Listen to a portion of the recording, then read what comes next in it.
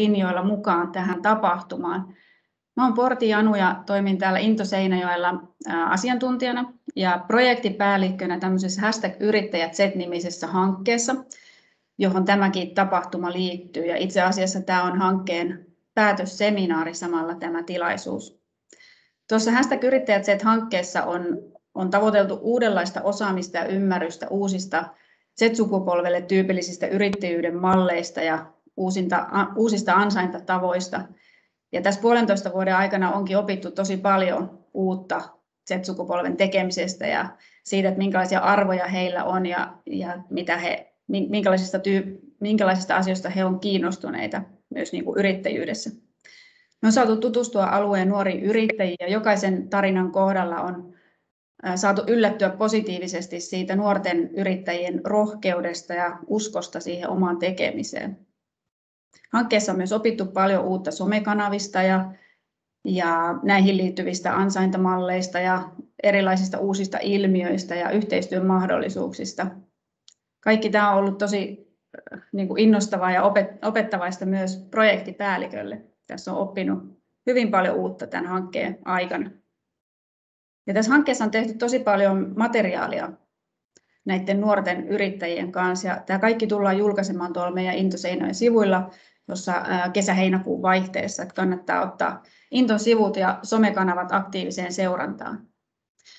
Mutta tänään keskitytään vaikuttajamarkkinointiin ja tarkastellaan sitä niin vaikuttajatyön ja yrittäjyyden näkökulmasta kuin myös sitten siitä vinkkelistä, että minkälaisia yhteistyön paikkoja se vaikuttajatyö tarjoaa muille yrityksille.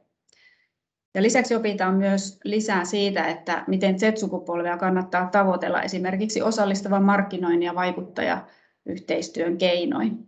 Ja meillä on täällä mukana puhumassa aivan loistava joukko alan asiantuntijoita. Meillä on Bangerin toimitusjohtaja Eija Kerlander mukana.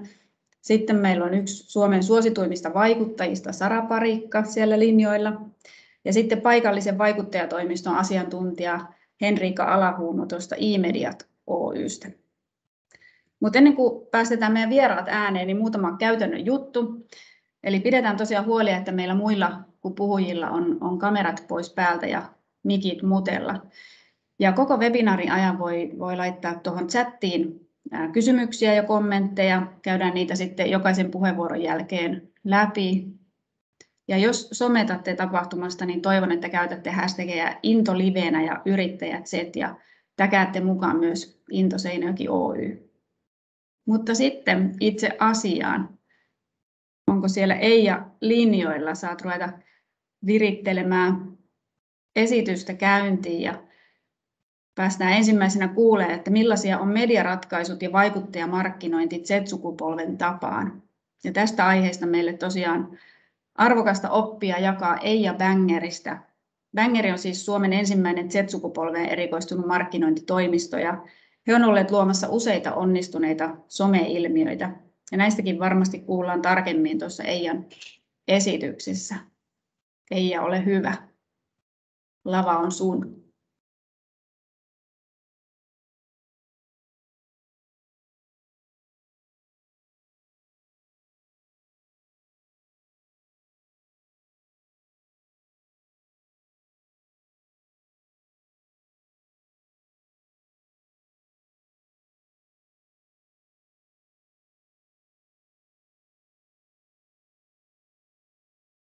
Ihan pieni hetki, niin saadaan Eija tuonne linjoille. Oli siellä pieniä teknisiä ongelmia, niin tota, saadaan Eija tänne mukaan esittämään. Ei mene kauaa, niin Eija varmaan pian tänne ilmestyy mukaan. Tämä on nyt tätä uutta normaalia tämä digijutun kanssa. Tähän me ollaan varmasti kaikki törmätty jossain kohtaa, mutta eikö me Eija sieltä saa pian, pian linjoille.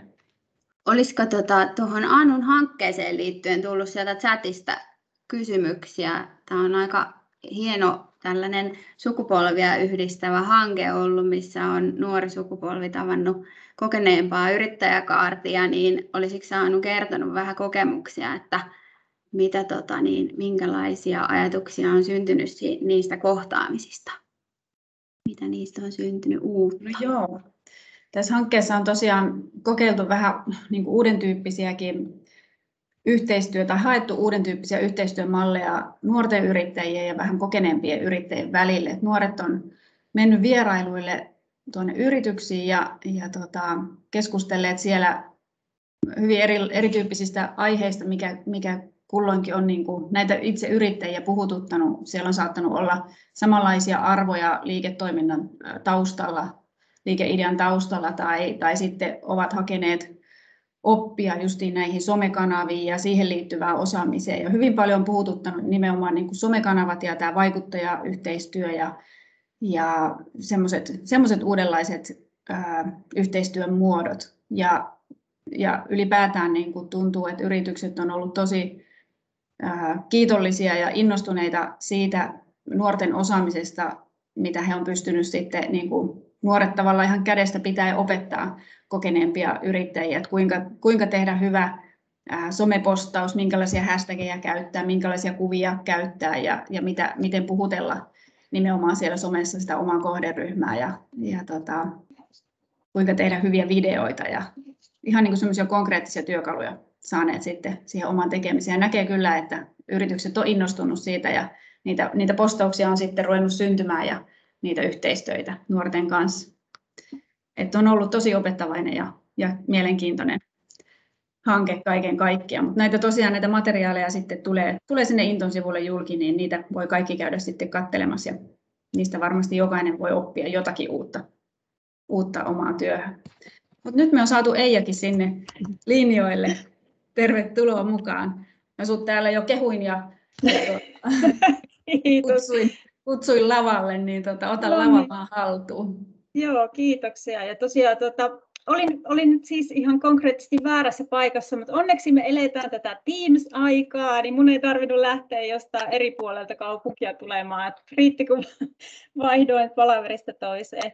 Mutta hei, tosi, tosi kiva olla täällä. Ja tota, mä oon tosiaan Gerlanderi Eija, ja mä tuosta laitan mun ää, esityksen jakoon, niin saadaan sekin sitten tuosta.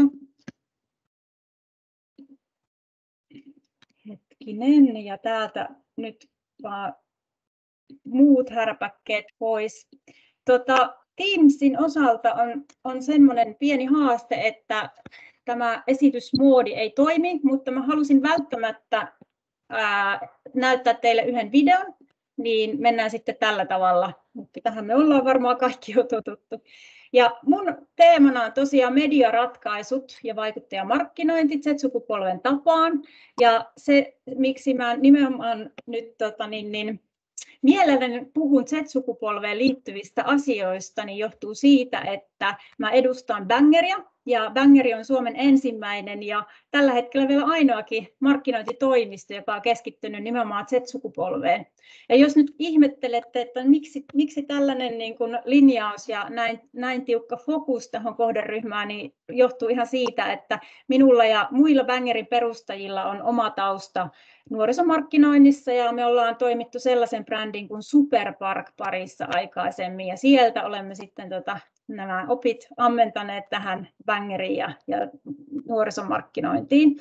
Tuossa on muutamia brändejä, kenen kanssa me toimitaan ja tota, ää, oikeastaan sitten, jos mennään siihen isoon syyhyn, ää, siihen, siihen haasteeseen, topline-asiaan, mikä, mikä on takana ja mihin me myöskin bangerinä halutaan tuoda omat ratkaisut, mutta myöskin mikä oikeastaan liittyy hyvinkin vahvasti tähän teemaan, mistä mä puhun, niin on tämä sukupolvien välinen kuilu.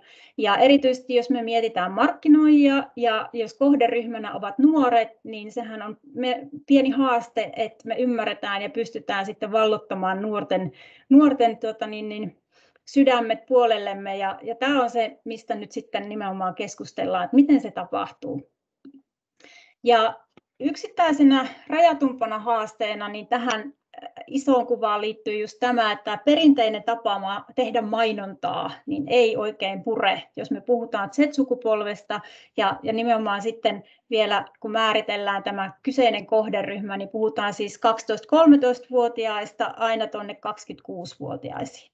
Mutta kuten varmaan me tiedetään, niin tämä nimenomaan, jos me sitä mainontaa ajatellaan tämmöisenä hyvin voimakkaana, puskevana, että et painetaan vaan sitä viestiä eteenpäin, niin se ei tosiaan toimi, vaan pikemminkin voi aikaan saada semmoisen vastareaktion, että et tota, nämä nuoret kokee, että et, tätä tyrkytetään minulle, miksi näin. Ja yksi yksittäinen hyvä punainen lanka, jos me mietitään sitten nuoria kohderyhmänä, niin on se, että nuorilla on tosi paljon halukkuutta osallistua, halukkuutta vaikuttaa ja on paljon ideoita ja ajatuksia, joita he mielellään jakavat, että kun vaan, aina kun vaan muistetaan kysyä. Mutta ehkä tämä osallistamisen elementti on hyvin vahvasti läsnä niin kuin siinä, minkälaista viestiä mä haluan teille tuota välittää tänään. Mutta mennäänpä ensin, ensin sitten tähän someen isossa kuvassa.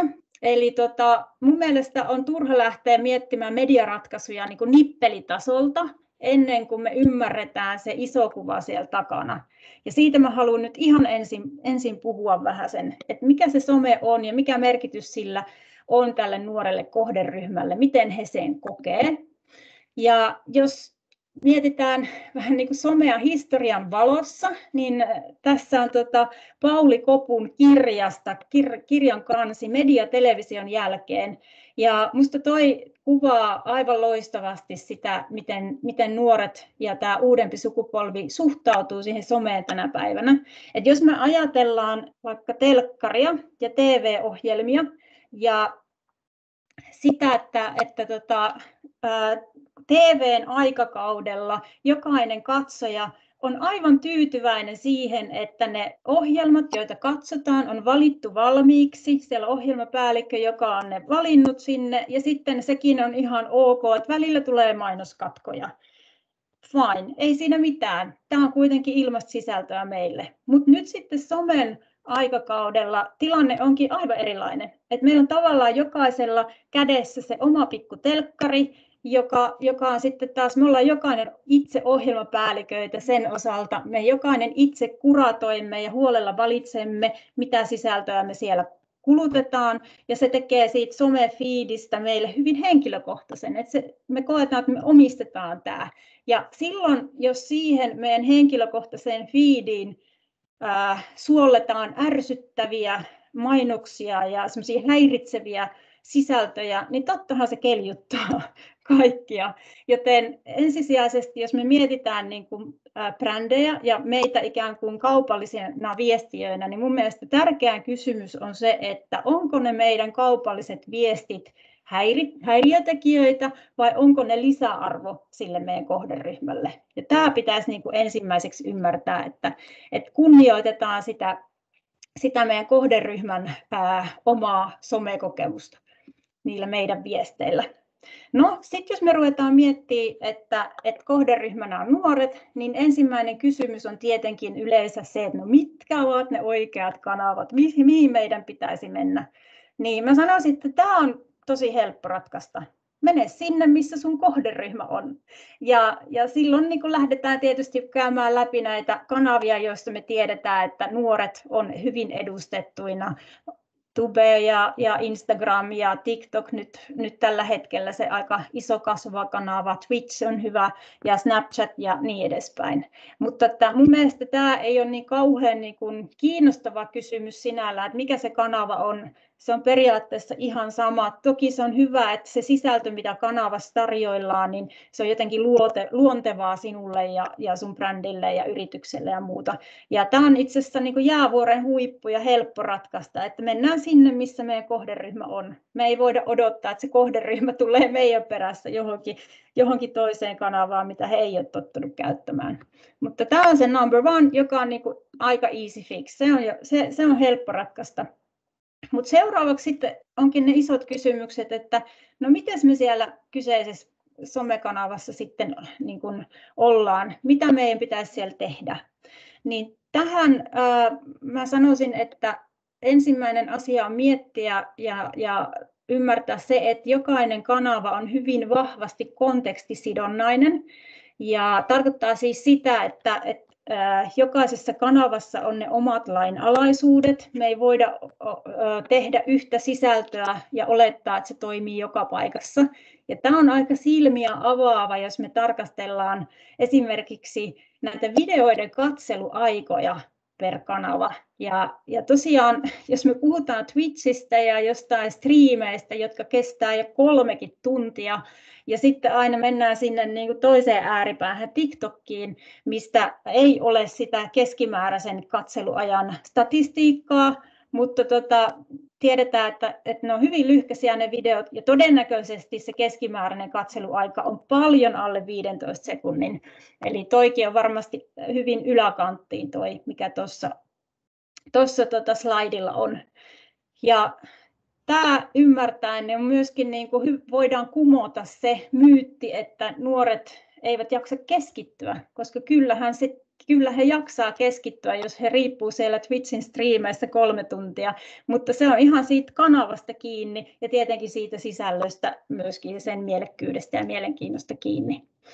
No millaista sisältöä sitten niin kuin isossa kuvassa äh, voitaisiin sanoa, että kannattaa tuottaa?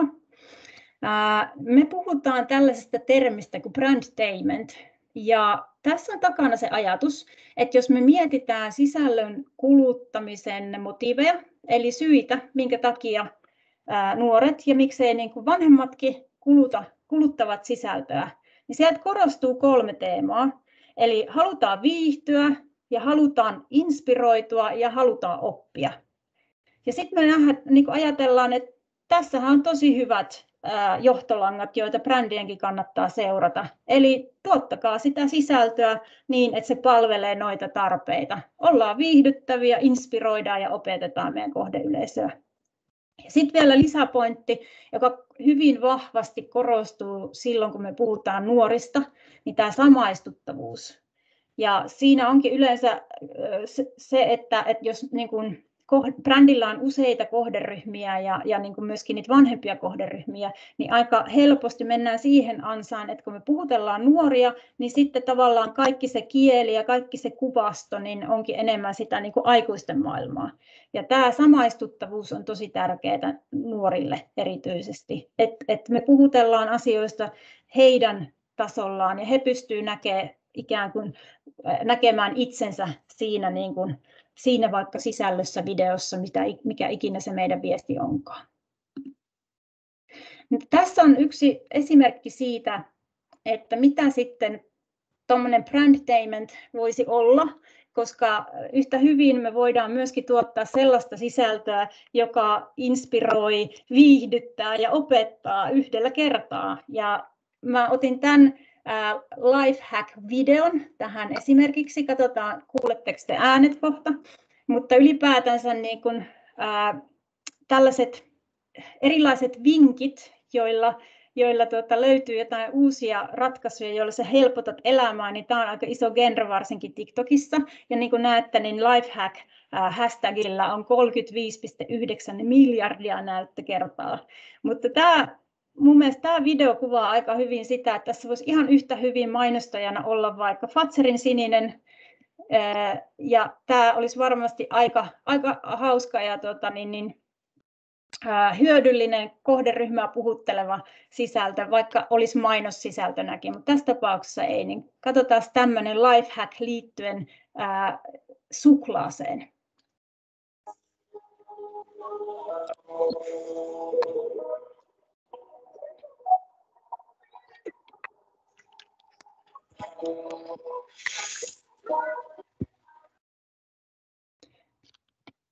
Noin. Eli ainakin itse koen hyvin hyödylliseksi vinkiksi, kuinka saatat ää, kaikkien huomaamatta nippasta yhden levyn, levy, suklaalevyn palan itsellesi ja, ja tota, levy pysyy kasassa.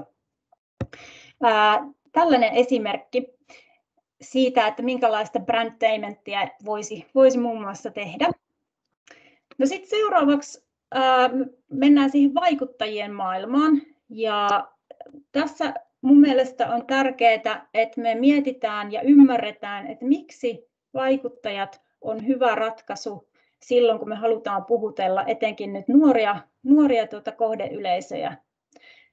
Ja täältä ensimmäiseksi haluaisin nostaa sen, että ää, jos me, niin kuin, tai tässä on tutkimus, jossa on tutkittu siitä, että miten vaikuttajat vaikuttaa. Ja löydös oli se, että nuoret luottaa näihin heidän seuraamiinsa somevaikuttajiin ja heiltä saamaansa tietoon yhtä paljon kuin ystäviltä saamaansa tietoon. Eli nämä vaikuttajat oikeasti voisi rinnastaa ihan luottoystäviin ja heihin ja heidän, heidän tuota, niin, niin, mielipiteisiin ja viesteihin luotetaan aivan valtavasti. Eli tämä ehkä niin kuin ei kaipaa perusteluja, tämä argumentti, minkä takia sitten vaikuttajat voisi olla hyvä ja potentiaalinen kumppani brändeille tai miten vaikuttajien käyttämistä voisi olla hyötyä brändeille.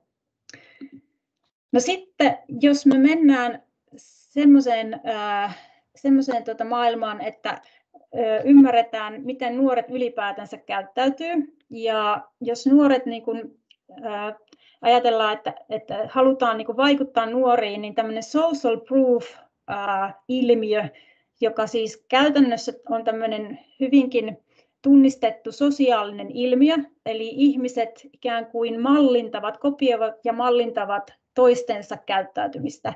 Ja tämä pätee erityisen hyvin nuoriin. Eli aina kun nuoret ää, niin kuin tekee päätöksiä, tai jopa tässä voisi sanoa, että he etsii niin kuin uusia virikkeitä, niin he ikään kuin skannaa sitä omaa lähiympäristöä, niitä kavereita ja myöskin vaikuttajia, että mistä asioista tässä meidän omassa vaikutuspiirissä ollaan nyt innostuneita, mistä munkin pitäisi olla innostunut.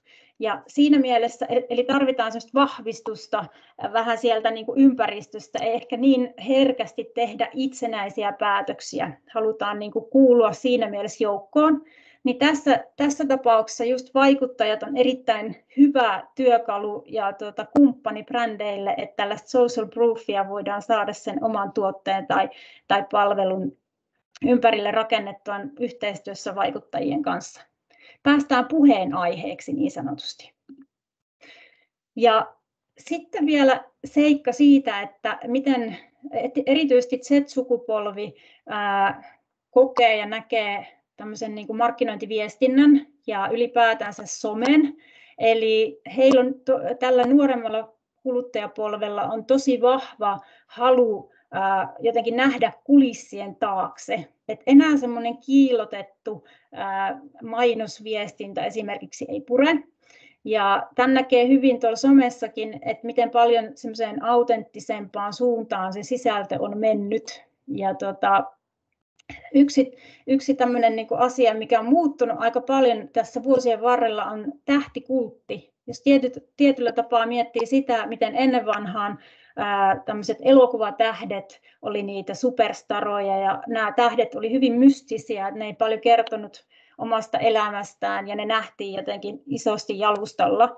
Ja tänä päivänä sitten jos me mietitään ää, näitä tähtiä, eli, eli tota, ikään kuin niitä tähtiä, jotka nuor, joita nuoret seuraa ja fanittaa, eli näitä vaikuttajia, niin me nähdään, kuinka kuinka paljon itse asiassa niin kuin se tähtikultti on rapissut ja mitä enemmän vaikuttajat ikään kuin tuo, tuovat itseään, itseään niin kuin aidosti esille, kertovat sit omasta elämästään ihan niitä arkisiakin asioita, sitä enemmän se herättää luottamusta ää, heidän seuraajissaan. Ja se siitä syntyy ikään kuin se ää, niin kuin parasosiaalinen ilmiö, eli tulee tunne, että mä, mä tunnen tuon mun ty- vaikuttaja, vaikuttajan, ketä mä seuraan, että hän on niin kuin vähän kuin mun kaveri.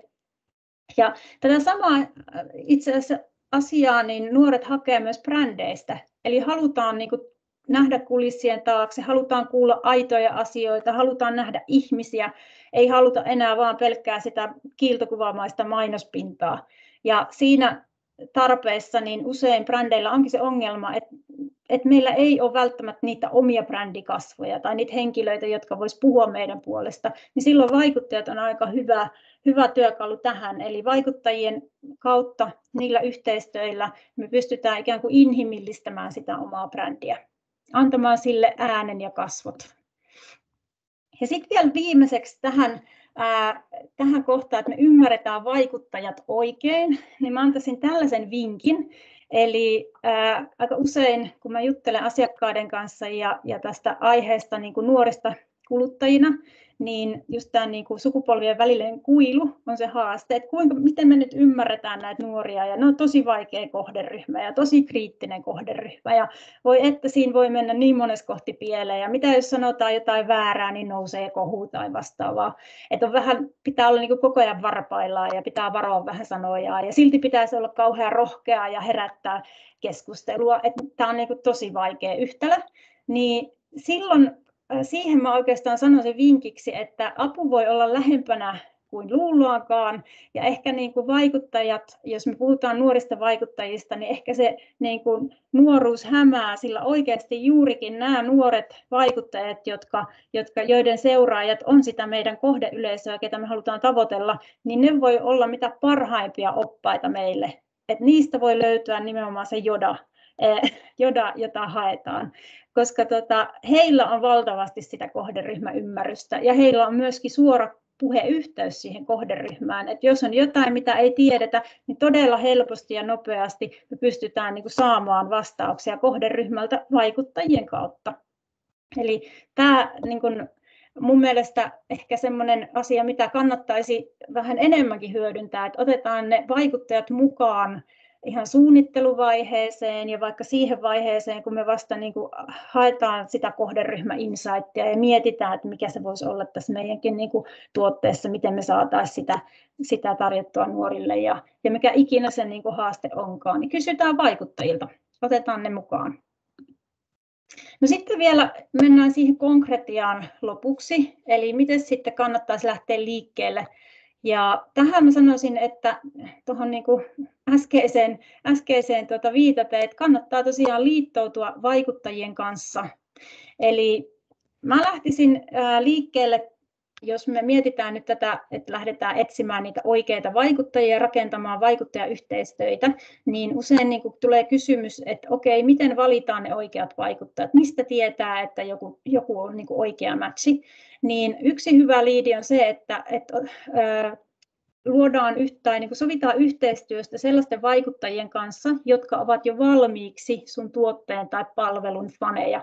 Ja se on niin tosi tärkeää, että, että se brand match on olemassa. Se voi olla myös arvopohja ja onkin, mikä pitää niin matchata myöskin yhtä lailla. Ja aika hyvä esimerkki tästä silmiin pistää usein se, että, että kun Android-puhelinvalmistajilla on uusia mallia, mallilanseerauksia, uusia puhelinmalleja, niin sitten siellä nämä vaikuttajat, jotka niitä uusia puhelinmalleja tota, tuo esille somessa omissa sisällöissään, niin on tällaisia tunnettuja iPhone-käyttäjiä, jolloin se ei ole kauhean uskottavaa, että siellä niin kuin iPhone-ihmiset sitten puhuvat kauniita korulauseita näiden Android-mallien puolesta, niin ainakin tällaiset asiat pitäisi varmistaa, että siellä ei, että siellä ei takaa ei löydy mitään ristiriitaa, että kyllä vaikutteen seuraajat tietää ja aistii, jos, jos niin kuin se niin kuin vaikuttajan viesti on ristiriidassa siihen, mitä hän muuten edustaa tämän kyseisen yhteistyön ulkopuolella. No, toinen liidi ja vinkki voisi olla se, että kannattaisi harkita että tämmöisiä vähän pidempiaikaisia yhteistyötä vaikuttajien kanssa. Siinä etuna on se, että vaikuttajatkin varmaan mielellään tänä päivänä sitoutuu tämmöisiin yhteistöihin, jotka ei ole semmoisia one-offeja, kertaluontoisia kampanjoita. Ja sitten se oppiminen molemmin puolin, sehän auttaa eteenpäin. Että aina kun tehdään jotain yhdessä, niin siitä opitaan, niin miksi hukata se niin kuin vaan ennemminkin vaan rakennetaan sitten sitä uutta aina sen päälle. Eli tässä me niin kuin tosi hyvin voidaan jos meillä on vaikka pidempiaikainen yhteistyö, niin sehän ei tarkoita sitä, että aina tarvitsisi olla jotain viestittävää, vaan se voidaan sitten niin kuin rakentaa erilaisiksi sprinteiksi, vaikka niin kuin vuoden ympärille vuosikelloksi, mutta, mutta ihan varmasti tällainen pidempi yhteistyö palvelee sitä, että me aina tehdään seuraava juttu paremmin ja seuraava juttu paremmin. Tätä mä suosittelen myöskin harkitsemaan, että pidempiaikaiset yhteistyöt olisi, olisi niin kuin agendalla. Ja nimenomaan liittyy tähän, tähän niin kuin edelliseen, eli tota, kolmas kohta, hyödynnä kannattaa hyödyntää niiden vaikuttajien kohderyhmäymmärrystä. Eli en suosittele sitä, että välttämättä suunnitellaan ne kampanjat ja viestit kovin pitkälle valmiiksi, vaan otetaan ennemminkin ne vaikuttajat mukaan jo paljon aikaisemmin ja, ja suunnitellaan yhdessä niiden kanssa. Se on varmasti kaikin puolin tuota, parempi loppu, lopputulos sen kautta. Ja tätä varmasti jo jonkun verran hyödynnetään, mutta yhä enemmän olisi sille tilaa myöskin. Ja sitten tuota, tähän loppuun niin konkreettinen esimerkki siitä, miten, miten tämmöinen pidempiaikainen yhteistyö voidaan rakentaa ja miten sitä, sitä niin kuin vaikuttajien kohderyhmäymmärrystä voidaan hyödyntää. Ää, tässä on meidän asiakkaamme Kloettan case, mitä me ollaan heidän kanssa tehty yhteistyötä. Eli me ollaan Kloettan kanssa aloitettu yhteistyö tekemällä kahdelle heidän makeisbrändilleen tutkimukset, kohderyhmätutkimukset. Siellä haluttiin selvittää esimerkiksi, että miten nämä nykyiset brändiattribuutit toimii uusille nuorille kuluttajaryhmille, mitä nämä attribuutit ylipäätään tarkoittaa näille nuorille ja miten niistä pitäisi viestiä heille. Ja sitten testattiin erilaisia kommunikaatiokonsepteja ja markkinointiviestintää myöskin, mitä oltiin aikaisemmin tehty. Ja myös tässä oli mukana kolme erilaista vaikuttajayhteistyökampanjaa, jotka oli siis jo toteutettu, mutta haluttiin vielä jälkikäteen kuulla nuorilta, että mitkä ne, miten ne toimi ja mikä niistä esimerkiksi oli heidän mielestään paras ja minkä vuoksi. Ja sitten havaintona lopputuloksena tuli tällainen ajatus, että meillä olisi kyllä hyvä, että me saataisiin tämä kohderyhmä mukaan siihen meidän suunnitteluprosessiin jo paljon aikaisemmin, eikä vasta sitten, kun etsitään niitä vaikuttajia johonkin kampanjaan. Ja tähän tarpeeseen sitten suunniteltiin tämmöinen co-creation vaikuttajayhteistyö. Ja käytännössä tarkoittaa sitä, että me rekrytoitiin viisi nuorta ää, sisällöntuottajaa TV-Mix-brändin tiimiin. Ja tämä viiden vaikuttajan tiimi työskentelee nyt TV-Mixin kanssa yhdessä kuusi kuukautta, eli vähän pidempi aikajakso. Ja tämä porukka ei ole pelkästään brändilähettiläitä tai perinteisessä mielessä vaikuttajia, vaan iso arvo on sillä, että he osallistuvat markkinointitiimin työskentelyyn. Eli nyt meillä on tämmöinen nuorien, nälkäisten, motivoituneiden ää, tota, sisällöntuottajien porukka, jolla me pystytään hyvin ketterästi testaamaan erilaisia ideoita. Nämä nuoret otetaan mukaan ideoimaan ja suunnittelemaan markkinoinnin, markkinoinnin ratkaisuja ja, ja tota, sitten he osallistuu myöskin tuotekehitykseen, eli he pääsevät mukaan siihen prosessiin. Ja sitten he toimivat ihan itsenäisinä sisällöntuottajina, ja sisällöt sitten tullaan julkaisemaan siellä TV-miksin tilillä. Eli tämmöinen aika monimuotoinen yhteistyö vaikuttajien kanssa tässä tapauksessa kyseessä. Ja ää, ihan loppuun haluaisinkin ehkä sitä sen viestin vielä ja lopputerveiset jättää, että mun mielestä näitä vaikuttajayhteistyöitä turhan kapeakatseesti mietitään välillä. Eli mehän voidaan luoda käsikirjoittaa niitä ihan, ihan niin kuin haluamallamme tavalla, että ehkä vaan niin kuin välillä ne mallit, mihin me on totuttu, niin ohjaa sitten tekemistä. Et me kuvitellaan vaan, että se pitää olla vain semmoinen kampanja ja me otetaan siihen nyt kolme vaikuttajaa ja sitten se on siinä ja näin. Mutta toisaalta mikään ei estä tekemästä tätä paljon paljon niin kuin luovemmin ja ikään kuin strategisemmin ja, ja nimenomaan hyödyntämään sitä vaikuttajien ää, tietotaitoa ja ymmärrystä siitä meidän kohderyhmästä paremmin. Tällaisia ajatuksia, ajatuksia mulla oli tähän aiheeseen ja nyt varmaan sitten olisi kiva käydä läpi, jos siellä on jotain kysymyksiä herännyt. Kiitos Eija. Tosi, tosi mielenkiintoista. Tätähän kuuntelisi vaikka niin kuin tuntitolkulla. Tolkulla, tuota, niin, niin, mulle jotenkin jäi päällimmäisenä itsellä mieleen heti tuo, mitä sanoit, sanoit, että nuoret arvostaa nimenomaan rehellisyyttä ja aitoutta niissä somesisällöissä ja muussa. Niin kuin, ei niinkään sitä päälle liimattua, päälle liimattua kulissia, vaan tota, vähän niin kuin sinne kulissien taakse ja se rehellisyys ja aitous puhuttelee. Mun mielestä se on tosi totta ja, ja sen on myös huomannut, kun nyt nuorten kanssa on tuossa töitä tehnyt ja, ja tota, mun mielestä se on erittäin niin kuin myös tervetullut kehityssuunta, että, että jotenkin tosi hyvä, hyvä juttu, että se on, sellaiseen suuntaan ollaan, ollaan siellä somesisällöissäkin menossa. Kyllä. Mutta oli pari kysymystä tullut yleisöstä. Tiina kysyy, että mistä vaikuttajia on mahdollista löytää ja miten heihin saa hyvin yhteyden? Joo, no tietysti kun käy googlailemassa, niin heti varmasti saa sieltä vastauksia on niin vaikuttajatoimistoja ja vaikuttajaverkostoja, jotka edustaa vaikuttajia. Ja nykypäivänä ehkä ei enää ole, ole niin sellaisia yksin oikeudella sopimuksia, mitä silloin aikaisemmin kun minäkin olen aloittanut vaikuttajamarkkinoinnin parissa tekemään töitä, niin silloin, silloin vielä niin oli tavallaan hyvin selkeät tallit, että nämä vaikuttajat ovat tuolla, tuolla toimistossa ja nämä tuolla. Nyt ne niin kuin raja-aidat on murrettu ja kaatunut, eli oikeastaan niin kuin sä saat kaikki, melkein kaikki myy, myy ikään kuin ja edustaa kaikkia.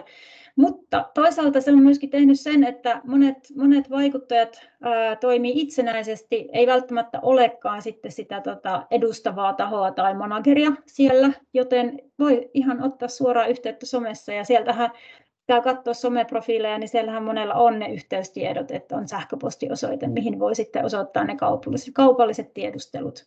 Eli mun mielestä siihen suuntaan aika paljon menty myöskin. Eli voi ihan sitten ihan suoraan ottaa yhteyttä. Tai jos haluaa niin kuin päästä helpommalla tai haluaa niin kuin saada sen asiantuntijan näkemyksen myöskin siitä, että, että asiantuntija ikään kuin valitsee, tekee niitä valintoja ja hoitaa sen kaiken kommunikoinnin ja yhteydenpidon, niin sitten voi hyödyntää näitä vaikuttajatoimistoja. Niitä löytyy ihan tuolta googlailemalla. En viitin name dropata, mekin teemme sitä, mutta joka tapauksessa niin tota, sieltä niitä kyllä löytyy. Kyllä. Joo, ja vähän niin kuin jatkokysymyksenä siihen myös, että onko vaikuttajamarkkinointi kallista suhteessa perinteisiin markkinointikanaviin? No, tämä on vähän just aika suhteellinen kysymys, mutta usein sitten jos me äh, lasketaan, no riippuu vähän, että mikä meidän tavoite on. Halutaanko me tavoittaa niin kuin reachia, halutaan tavoittaa mahdollisimman monta silmäparia, vai halutaanko me niin kuin jotain laadullista saada irti siitä? Halutaanko me, että ihmiset reagoi siihen? Et varmasti niin kuin reachia saa sillä, että laittaa Facebook-mainontaa rahaa, niin kyllähän se sitä, sitten niin kuin sitä, sitä meidän sisältöä esitetään. Mutta toisaalta se, että, että minkälainen muistijälki siinä on ja onko se enemmänkin vain ärsyttävää vai onko se niin kuin jollain tapaa niin kuin positiivisia reaktioita aikaansaapaa, niin kyllä mä luulen, että siinä tapauksessa niin kuin vaikuttajamarkkinointi ei olekaan sitten enää niin kallista. Että jos sä haluat niin kuin laadullisia tuloksia saada aikaan.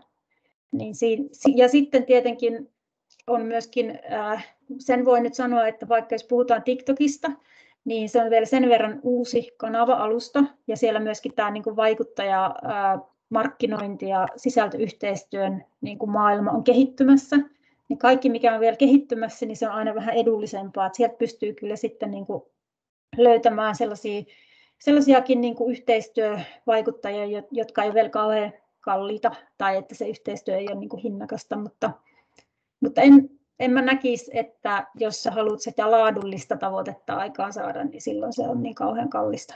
Ja sitten siinä voi myöskin ehkä hinnoitteluvaraa olla, jos, jos haluaa neuvotella vähän pidempiaikaisen yhteistyön vaikuttajan kanssa. Mä luulen, että moni mielellään sitten myöskin niin kuin, ää, tavallaan näkee, ja näkeekin sen hyödyn, että hei, että jos me sovitaankin koko vuoden yhteistyöstä, niin silloin se yksittäinen kampanja, yksittäinen juttu ei olekaan niin kallis.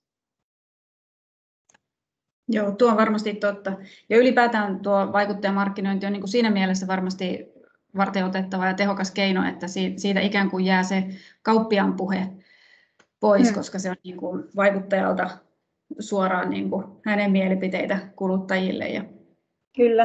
Siinä mielessä niin kuin myöskin uskottava.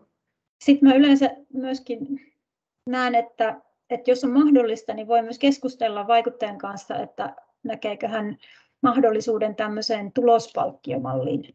Et meillä on sellaisia tapauksia, missä niin kuin siinä on success fee ja sitten flat fee, eli siellä on se peruspalkkio ja sitten, sitten on se niin kuin tulokseen pohjautuva palkkio. Ja jotkut vaikuttajat kokee, että se on tosi hyvä juttu, että näin mä haluan, että mä pystyn niin kuin omalla työllä niin kuin omalla, omalla niin kuin effortilla ikään kuin tienaamaan lisää. Ja jotkut taas ehkä kokee, että, ei, että mä, mä mieluummin sitten tiedän, mitä mä ansaitsen tästä ja näin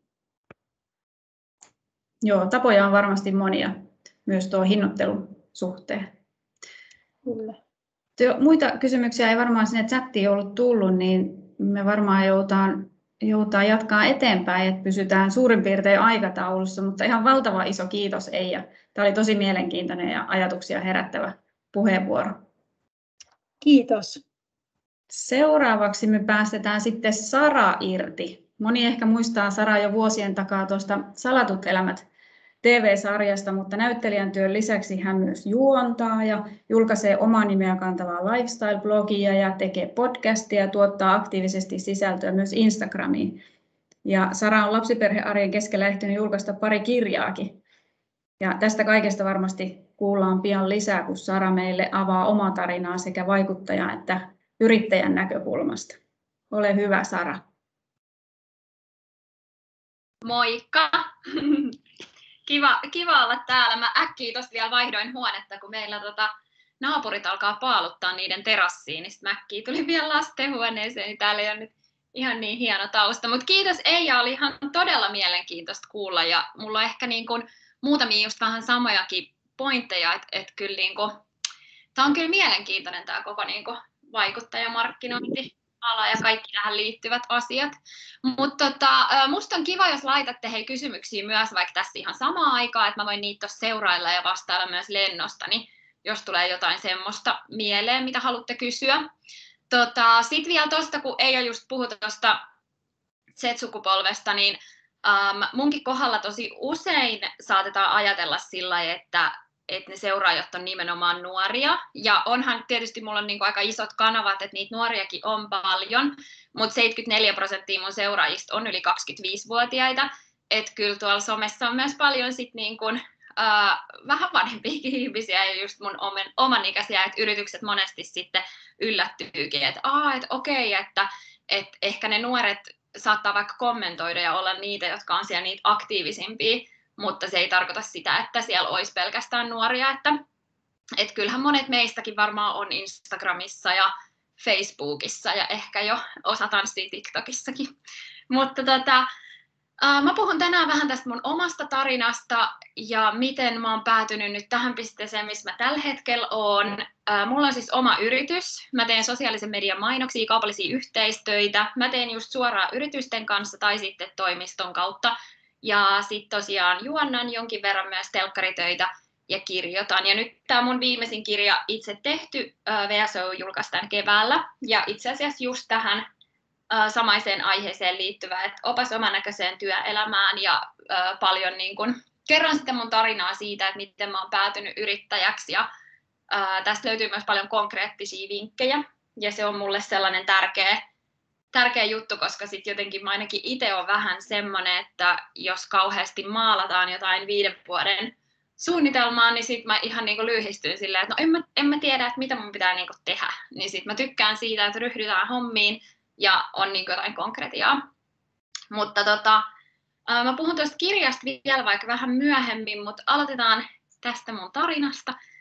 Mä tosiaan aloitin blogin seitsemän vuotta sitten, kun mä olin esikoisen kanssa äitiyslomalla – mulla oli oma halu ja innostus tehdä jotakin. Mä oon aika semmoinen nopeasti tylsistyvä ja sitten äitiyslomalla ei ollut oikein mitään omaa, niin sitten ää, seurasin paljon blogeja ja sitten mulla tuli semmoinen, että no pitäisikö munkin kokeilla, vaikka mä en ole siis hyvä kuvaamaan, mä en ole todellakaan kauhean hyvä kirjoittamaan, en ole edelleenkään, mutta jotenkin se ei estänyt mua kuitenkaan aloittamasta, ja pikkuhiljaa mulla alkoi tulla lukijoita. Totta kai mulla oli se, että mä olin näytelyssalkkareissa pitkään, että monet ehkä saattaa, vieläkin saattaa kuulla välillä, että no et hei, että totta kai sulla on paljon seuraajia, että et sä olit niin pitkään Salatut elämät-sarjassa.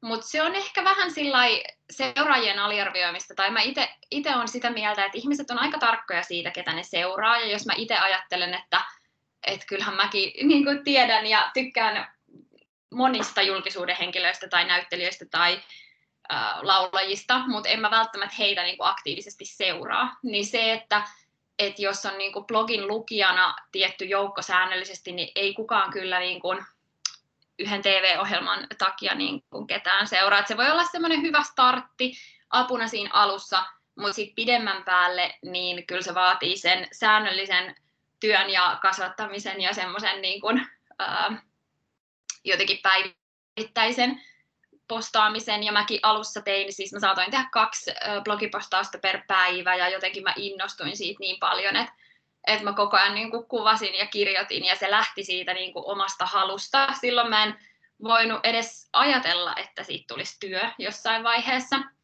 Ja tota, pikkuhiljaa alkoi tulla sitten kuitenkin niin, että tuli jotain yhteistöitä ja tuli sillä, että mä menin kirjoittaa sitten Anna-lehden alle. Ja siinä kohtaa tuli oikeastaan eteen se, että mun pitäisi pystyä lähettämään lasku. Ja mun mielikuva yrittäjyydestä ei ollut kauhean hyvä. Mä oon kasvanut yrittäjä isän lapsena ja nähnyt sen, että hänellä tuli konkurssi jossain vaiheessa ja sitten jotenkin se, että miten raskasta ja sitouttavaa yrittäjän elämä voi olla. Ja jos mä jotain tiesin, niin mä tiesin, että musta ei tule yrittäjä. Ja tota, mä aloitinkin sitten kevytyrittäjänä ja laskutuspalvelun kautta sitten lähetin laskuja, koska mä en pystynyt käyttämään verokorttia, niin sitten siinä ei ollut oikeastaan muuta vaihtoehtoa. Sitten mä siirryin toiminimelle, kun se oli järkevää, ja otin heti siihen alkuun kirjanpitäjän, koska mä halusin tehdä asiat oikein, ja mulla oli hirveä halu niin kuin siihen, että mä en tiedä enkä halua perehtyä tarkemmin siihen kaikkeen byrokratiaan, että mieluusti niin kun otan siihen sit kirjanpitäjän aluksi.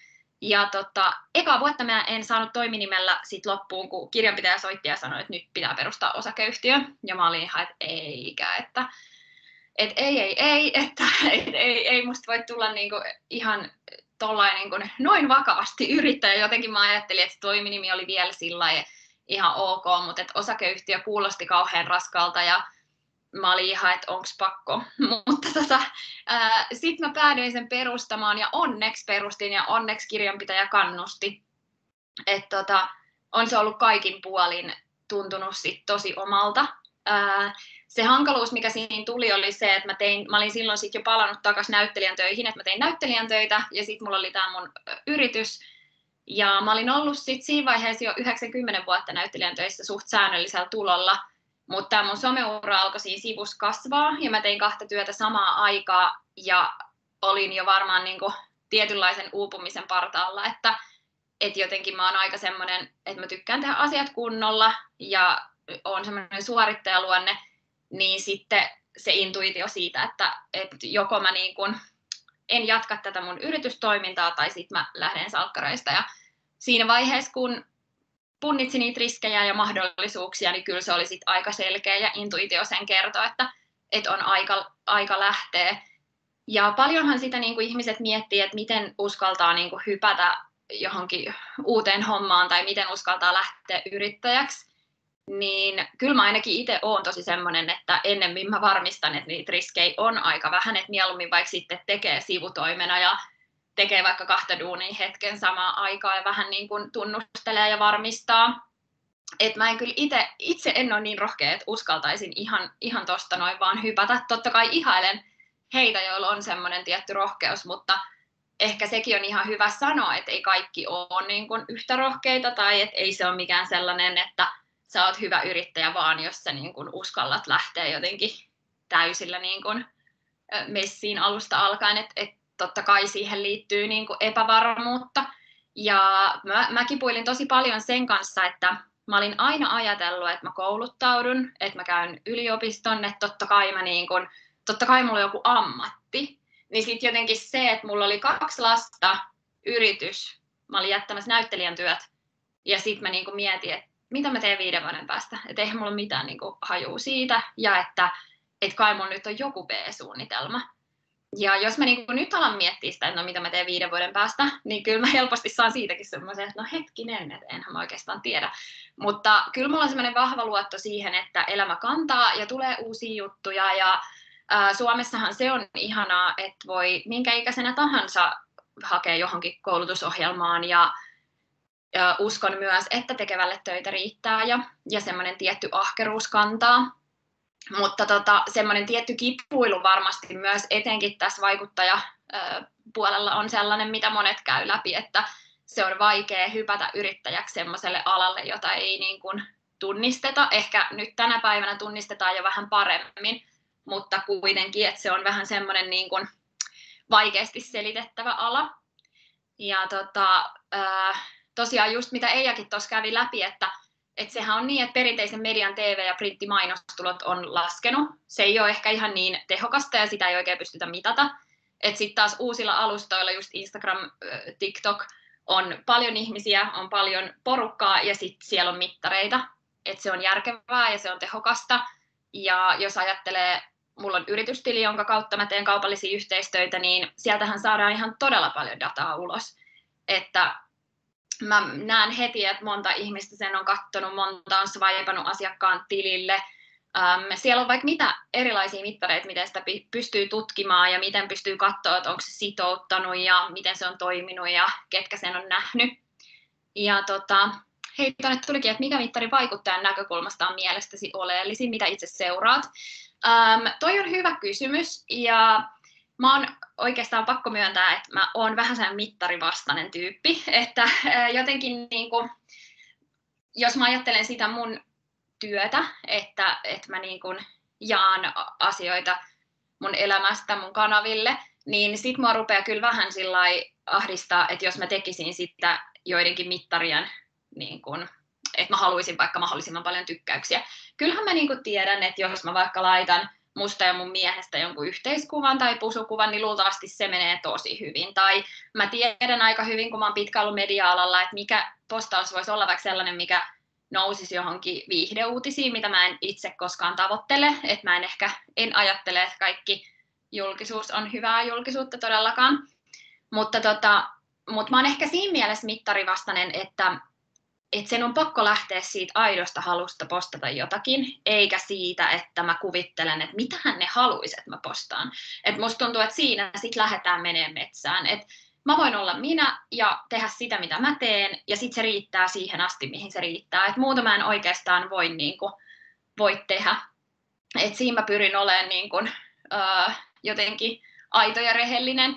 Ja totta kai mä huomaan, että tulee jotain nousuja, että meilläkin kun on syntynyt vauvoja, niin on tullut aina semmoisia piikkejä, että sitten tykätään tosi paljon postauksista, tai kaupallisia tulee nyt väkisinkin seurattua, että jos joku vaikka ei mene jotenkin tosi huonosti, niin kyllä mä sitten yritän miettiä, että miksiköhän toi meni huonosti, tai mikä siihen voisi vaikuttaa. Um, tota, sitten tämä mun oma vaikuttajatekeminen on aika paljon kehittynyt tässä vuosien varrella.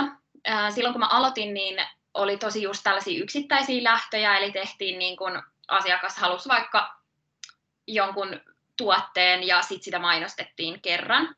Ja nykyään mä teen aika isoja kumppanuuksia. Mä oon tehnyt monien yritysten kanssa jo vuosia töitä, kuten Lähitapiola ja Valion kanssa. Ja, ja heidän kanssa just nimenomaan on se mahtavaa tuollaisissa pitkissä kumppanuuksissa, että pääsee oikeasti sinne jotenkin niin kuin ytimeen ja ähm, siitä tulee niin kuin paljon luonnollisempi osa koko sitä niin kuin kokonaisuutta.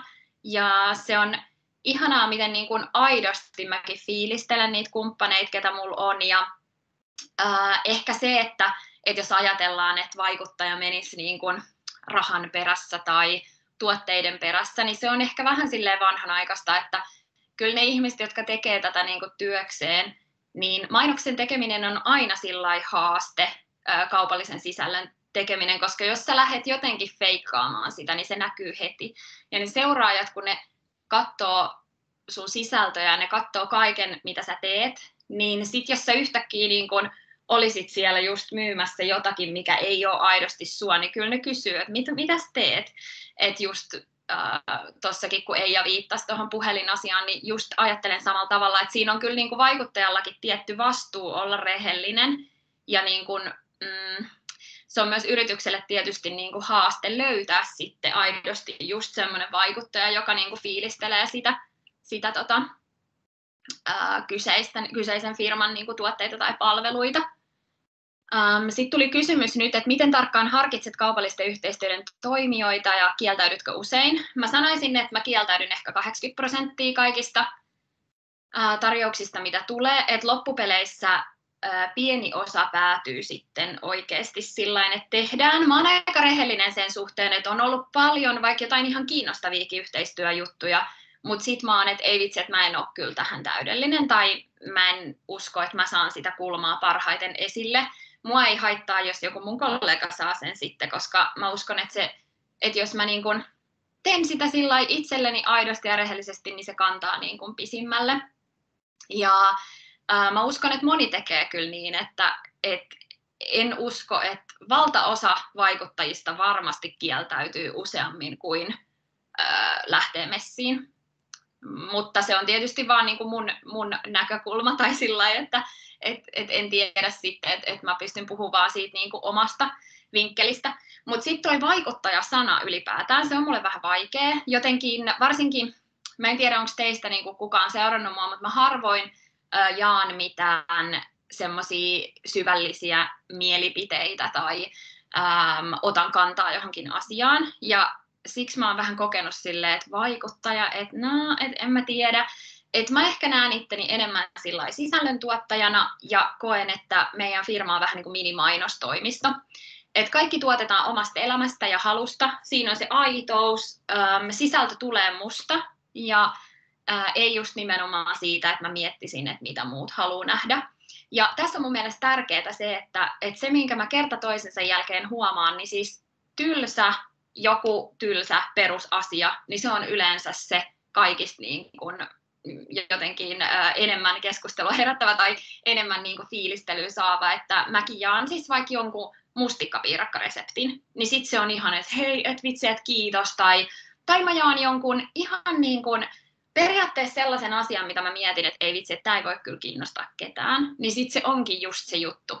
Ja sitten on se kyse niin kuin, että tekee itse vaikuttajana työtä tai vaikka yritystilin kautta, niin ei kannata ehkä niin kuin liikaa mun mielestä miettiä sitä, että pitäisi olla jotenkin cool tai pitäisi tehdä jotain kauhean niin kuin räväkkää. Et, et mä jotenkin uskon siihen, että ihmiset myös kaipaa sitä ihan sellaista niin kuin, äh, perusmeininkiä. Ja mun mielestä, no tietenkin mun sisällöissä mä uskon, että se tietty juttu siinä on just se sellainen, että se on aika turvallista, että ei tarvi miettiä sitä, että, että okei, että nyt tuolta tulee taas joku ää, tosi iso tilitys jostain perhe- tai lapsiperhearjen raskaudesta, vaan että on aika semmoista lepposta ja turvallista meininkiä.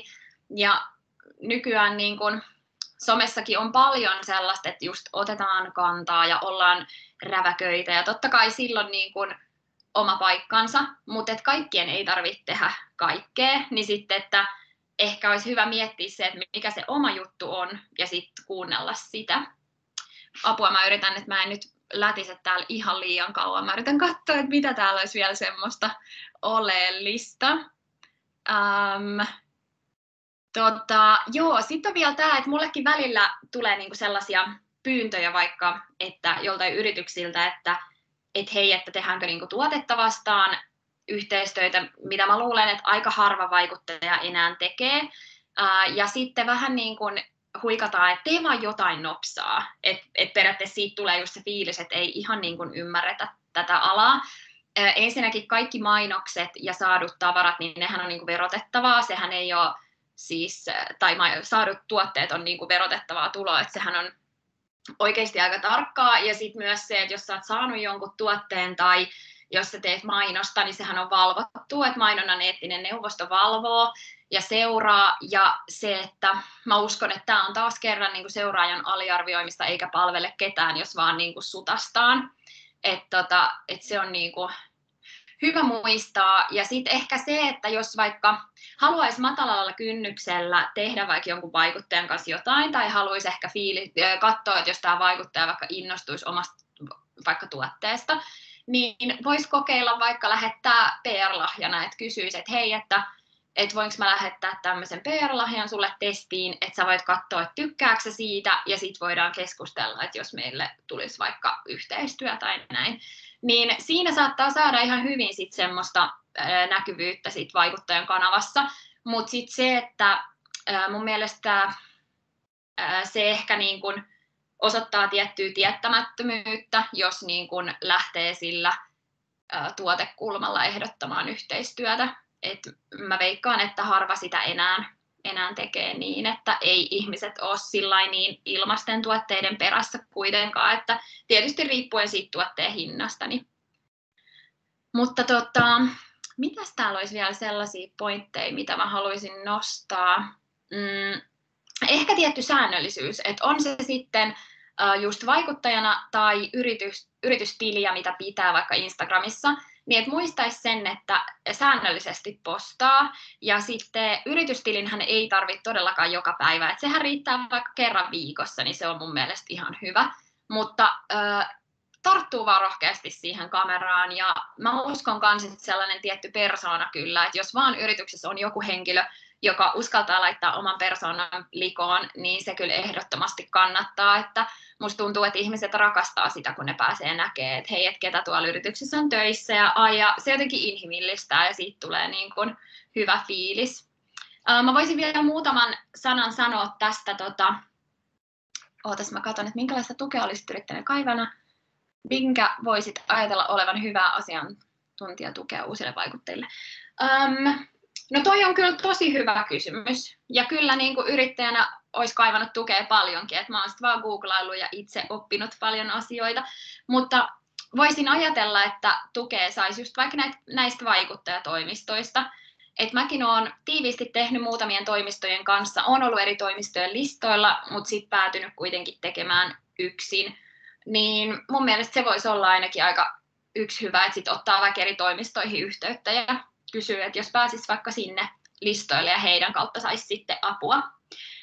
Tämä itse tehty, tämä on just multa kysytty sitä, että miksi mä oon kirjoittanut tämän kirjan, että miksi mä halusin opas oman näköiseen työelämään, niin ehkä just sen takia, että mä olisin itse ollut tosi kiinnostunut, jos joku toinen olisi kirjoittanut tämän kirjan. Ja mä silloin sanoinkin kustannusyhtiölle, että hei, ihan sika hyvä idea, mutta mä en ole oikea kirjoittaa.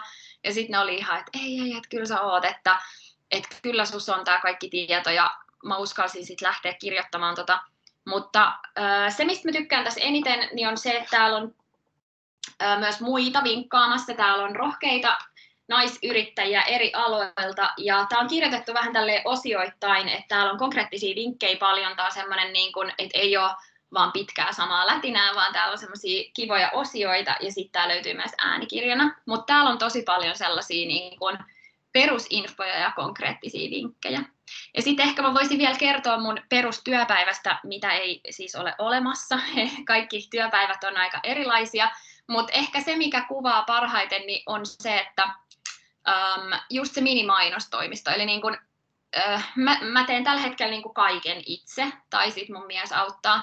Eli ihan siitä, että lähdetään yrityksen kanssa suunnittelemaan, meillä on palaverit, sitten me pallotellaan eri idiksi, lähdetään tekemään materiaalia, haetaan kaikki rekvisiitta, mitä siihen tarvitaan. Jos on vaikka joku kokkausjuttu, niin kaikki asiat, mitä siihen tarvitaan, suoritetaan ne kuvaukset, leikataan, kirjoitetaan kaikki valmiiksi sitten kuvan päälle ja kaikki tekstit ja sitten käytetään ne asiakkaalla, pohditaan, mitä voisi ehkä tehdä jonkun vielä paremmin, muokataan. Sitten lopulta postataan, laitetaan oikeat linkit, tehdään raportit postausten jälkeen ja laitetaan asiakkaalle. Eli siinä on tosi monta työvaihetta ja sitten sen lisäksi just näitä kirjoitustöitä ja juontotöitä. Ja, äm, ehkä tuommoinen niinku yksikin kuva, Instagram-kuva, niin kyllä sen takana on niinku useita tunteja töitä. Ja totta kai siinä on sitten myös se, että et siinä on se niinku tietty brändiarvo ja se, että että jos sä näet just TV-mainoksen tai sä ostat TV-mainoksen, niin sittenhän sen tekee joku tuotantoyhtiö, siinä on ehkä näyttelijät, se ehkä jää niin kuin osaltaan etäiseksi, kun sitten taas vaikuttajalla niin se tulee niin siihen iholle sillä että, että se on just niin kuin vähän kuin kaveri suosittelisi. Ainakin mä itse olen tosi tarkka siitä, että mitä mä, mitä mä tuolla somessa suosittelen ja mitä mä otan yhteistyökumppaneiksi. Sitten mä haluan vielä korostaa sitä, että mitä ikinä siellä tekeekään tai teettekään ja olette sitten yrittäjiä tai ehkä teitä kiinnostaa lähteä yrittäjäksi, niin tärkeintä on vaan se aloittaminen. Jos mä olisin tiennyt alussa, että mitä kaikkea tulee eteen ja mitä mun pitää selvittää minnekin suuntaan, ja, niin en mä olisi varmaan aloittanut. Et jotenkin askel kerrallaan ja se, että miettii ne hyödyt ja riskit, tunnistaa ne, arvioi ne ja sitten vaan niin kuin ryhtyy hommiin. Et mä uskon, että just tämä kirjakin, kun me tätä kirjoitettiin ja mä kysyin monilta eri ammattilaisilta vinkkejä, niin musta tuntuu, että se oli aina se sama vastaus, että pitää vaan aloittaa ja ryhtyä hommiin ja uskaltaa. Hei kiitos, oli ihan super tota, hauska puhua täällä, mua jännitti aika paljon. Toivottavasti te saitte jotakin uusia ajatuksia ja ää, kiitos kun kuuntelitte. Kiitos Sara. Olipa ihana kuulla sun niin kuin, tarinaa ja tuota taustaa, mikä, mikä ei sitten näy siellä Instagramissa ja, ja tuolla kanavissa niin kuin, sinne taakse. Et, tota, mä itse seuraan, seuraan sua kyllä somessa ja tota, mietin tässä samalla, että mikä se tavallaan sun salaisuus siinä on, niin mä jotenkin itse ainakin niin kuin tykkään siitä, että niin kuin sanoit itsekin, niin se on semmoista perusmeininkiä, siis helposti samaistuttavaa perheelämää ja ihan niin kuin tavallista, tavallista elämää. Et se on ehkä se, niin kuin mikä mua itse siinä viehättää, että, että tota, semmoista niin kuin sopivan kevyttä, just ei, ei liian mitään, ää, niin kuin sanoitkin, että et halua mitään sellaista niin kuin paatosta ruveta siellä tai niin kuin vaikuttamista jollain lailla, niin tota, mä tykkään niin itse siitä tosi paljon. Mutta tota, mulla on täällä myöskin tämä Saran kirja. Kävin mm. näitä pienen pinon hakemassa tuolta paikallisesta kirjakaupasta. Ja tota, vasta sain tämän käsiin, niin kerkesin vaan vähän selailla. En ole lukenut vielä kannesta kanteen, mutta, mutta pienen selailunkin perusteella niin pystyn kyllä kaikille lämpimästi suosittelemaan tätä kirjaa. Hankkikaa se käsinne. Ja tämä ei ole mikään kaupallinen yhteistyö, ei ole maksettua mainontaa, mutta tota, me tehdään tässä nyt sillä tavalla, että me arvotaan tämä kirja osallistujien kesken. Sara saa toimia ää, onnettarena ja meillä on tuolla Pimalla lista ilmoittautuneista ilmoittautumisjärjestyksessä. Ja tota, Sara saa sanoa numeron ja Pima sitten etsii sieltä, etsii sieltä tota, niin, niin, että kuka se voittaja on. Yes. Vaan Sara, mille, mille numerolle pistetään kirjaa jakoon? Saat, saat sanoa numeron yhden ja 44 välistä. Ei vitsi. 33. Okei, okay. minä menen laskemaan. Joo, Pima suorittaa siellä tausta, taustalaskuja ja tota, niin, niin, jos vielä on jotakin kysymyksiä sillä aikaa Saralle, niin tota, nyt on hyvää aikaa käydä niitä läpi. Siellä tuli vain kehuja ja kiitoksia kovasti. Anu, pakko siitä kommentoida, just kun sanoit, tuota, että tykkäät siitä perusmeiningistä, että se on kyllä sellainen, mistä välillä itse sitten myös niin kuin yrittää aina muistuttaa, että se, että vaikka mun kanavissa ei näy se semmoinen suru tai lasten kiukku tai näin, niin se ei tarkoita sitä, etteikö sitä olisi mun elämässä. Ja niin kun saattaa olla ajoittain vaikka tosi paljonkin. Mutta sitten ehkä vaan kun on tehnyt sen rajauksen, niin sitten se tuntuu myös niin kun hyvältä, että, että tietyt asiat jää meille ja sitten se tuntuu luontevalta niin, mutta sitten myös, myös koen tärkeänä sen muistuttaa aina seuraajille, että et ei ole niin, että mun elämä olisi vaan ihanaa ja rentoa ja että et ei tietenkään, että ihan, ihan koko elämän kirja se täälläkin niin kuin löytyy.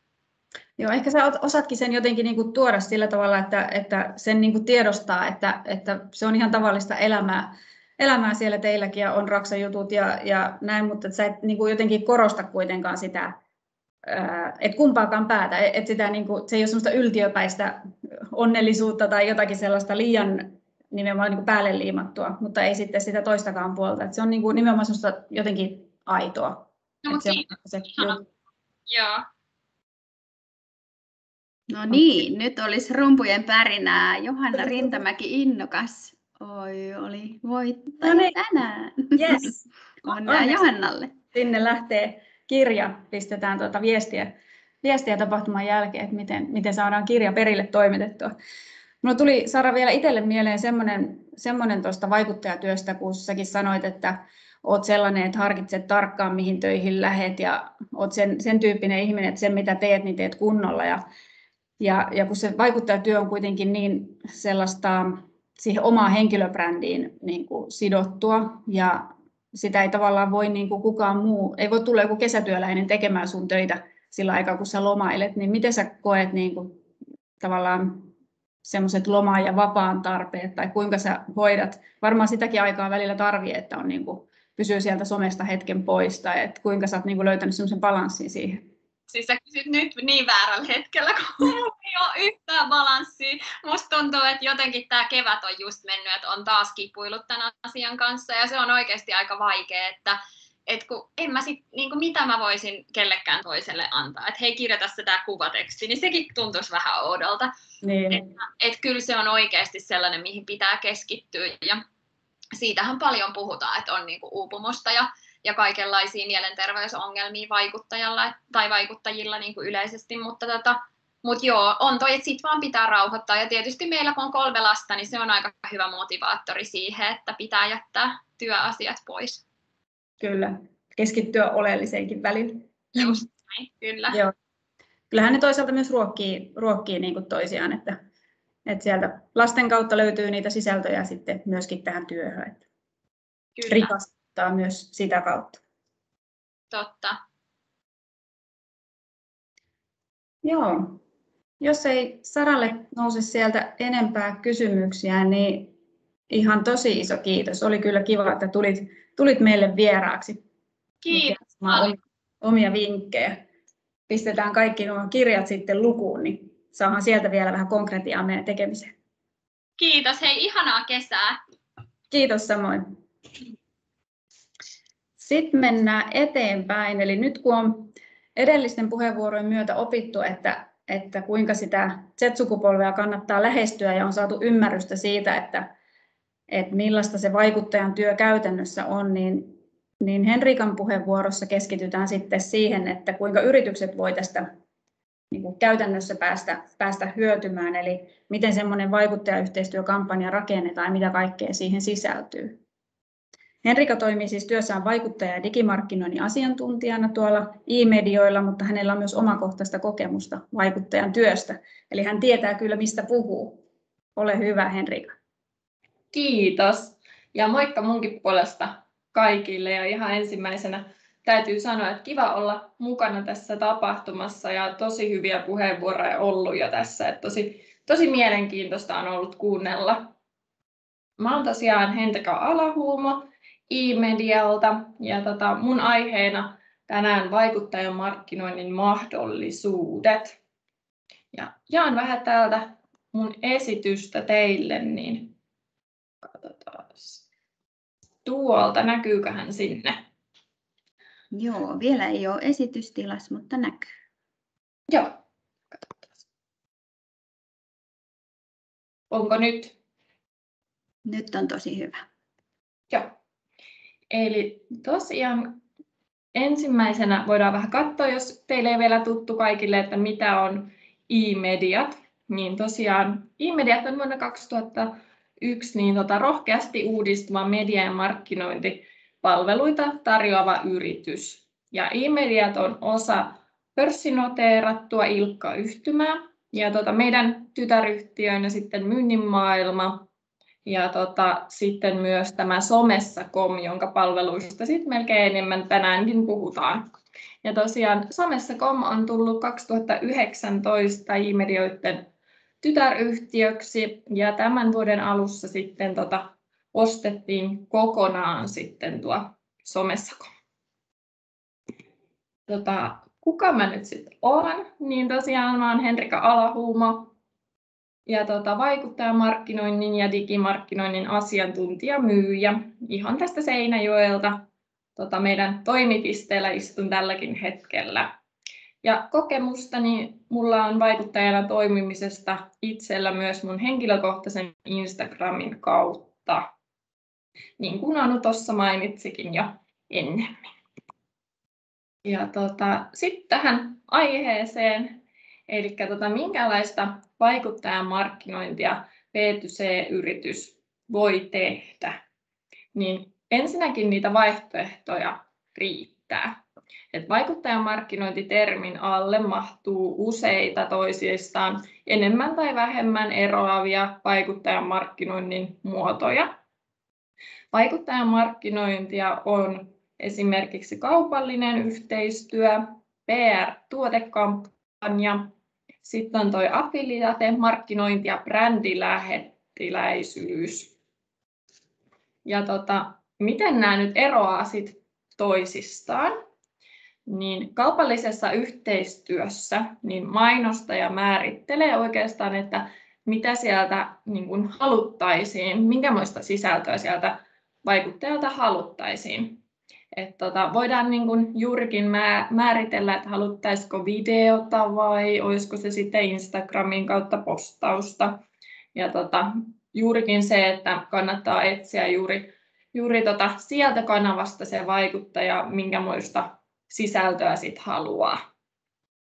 Ja tota, näissä jos vaikuttajan niin kanava on toi Instagram, niin sit voidaan niin määritellä hyvinkin tarkkaan, että montako feed-postausta haluttaisiin tai montako story-sisältöä sieltä haluttaisiin vaikuttajalta tämän kaupallisen yhteistyön yhteydessä.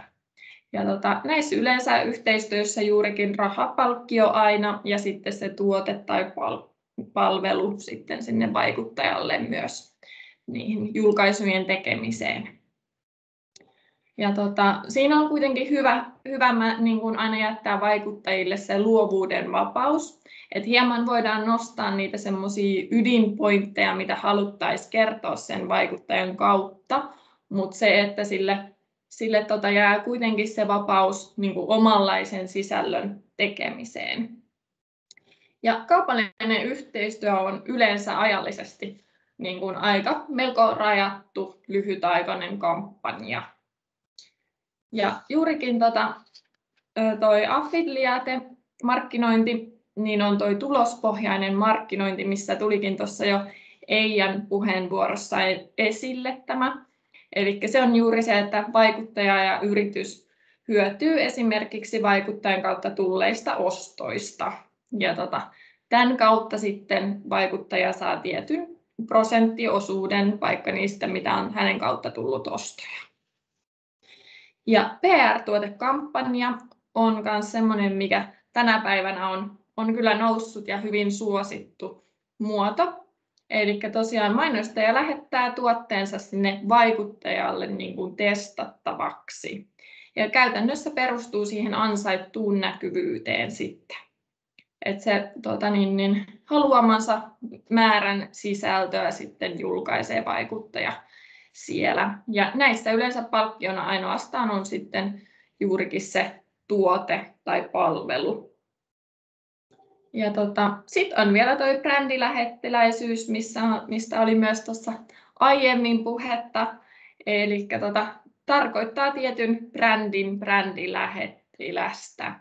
Ja brändilähettiläisyys on juurikin tämä pidempiaikainen maksettu yhteistyö, jossa vaikuttaja toimii tietyn brändin keulakuvana.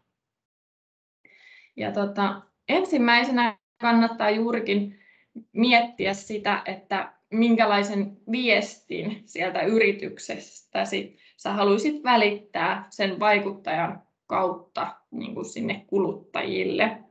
Et vaikuttajan markkinointihan on oikein tehtynä tehokasta ja tosi tuloksellista. Ja vaikuttajamarkkinoinnin yksi suurimmista eduista on siinä, että sen avulla niin kun yritys pystyy hyvin tehokkaasti tavoittamaan ne omat rajatut kohderyhmänsä. Ja tota, erityisesti vaikuttajamarkkinointi sopii loistavasti tota uuden tuotteen tai palvelun lanseeraukseen, brändin tunnettavuuden kasvattamiseen, myynnin kasvattamiseen tai vaikka tapahtuman mainostamiseen. Ja tosiaan vaikuttajan markkinointia voidaan tehdä lähes kaikissa somekanavissa, et kuten Instagramissa, YouTubeissa, blogeissa, Facebookissa, TikTokissa. Näitä löytyy paljon vaihtoehtoja. Ja tota, suosittuja yhteistyömuotoja näissä juurikin on nämä tuote- ja palvelu niin arvostelut tai semmoiset kokeilut. Ja suositellaan juurikin näiden omien kokemusten perusteella sitten näitä tuotteita tai palvelua. Ja sitten on justiin tämä tämmöinen niin ennen tapahtumaa tai tapahtuman aikana tai sitten sen tapahtuman jälkeen niin tota, tapahtuva mainostus siellä vaikuttajan kanavassa.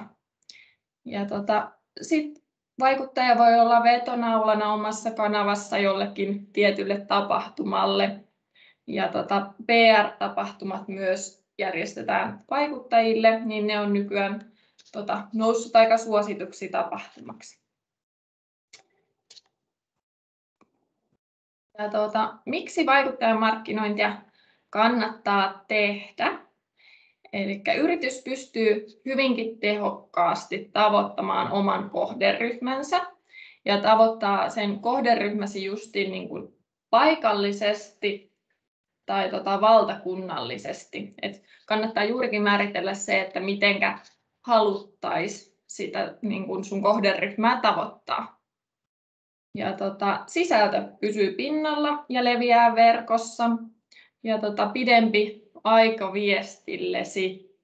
Ja kustannustehokasta, eli mitä, mitä paremmin tiedät sen sun yrityksen kohderyhmän, sen tehokkaammin pystytään rajaamaan juuri se oikea kohderyhmä sieltä vaikuttajan somesta. Ja suosittelu nopeuttaa ostopäätöstä, eli käytännössä tämmöinen moderni puskaradio.